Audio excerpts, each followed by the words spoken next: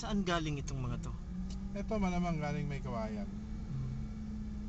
Hindi po lahat ng mga taon na kuha niya sa Hindi, Bulacan. hindi namin nakuha lahat. Yung lima lang po. Yang lima pa lang.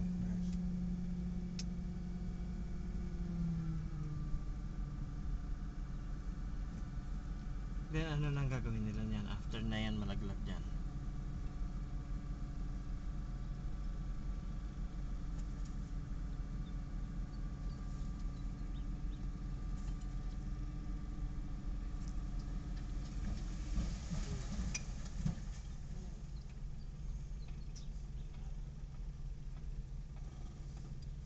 Pagbagsak niyan dyan, sir, ano na gagawin dyan? Tutulak na doon sa tipping area. Yan yung tipping area natin. Pagkatapos, tabunan lupa.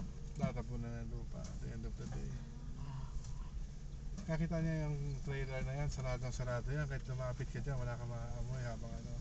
So hindi ko ano na sinasabi nila na magkakalat daw ng basura sa kalye.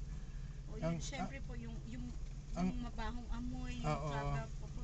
Ang hal ang ang ang katumbas sa dami niyang binaba na yan is limang dump truck. So we took away five dump trucks sa kalye. Yan, yun, yan pag Ilang puntans yung kada, kada hakot ng isang 30 tons, yan 32 tons. Yan. Sa isang araw po, nakakailan travel po kayo? Ah, dalawa sa May Kawayan, dalawa sa Baliwag. Isa sa San Rafael.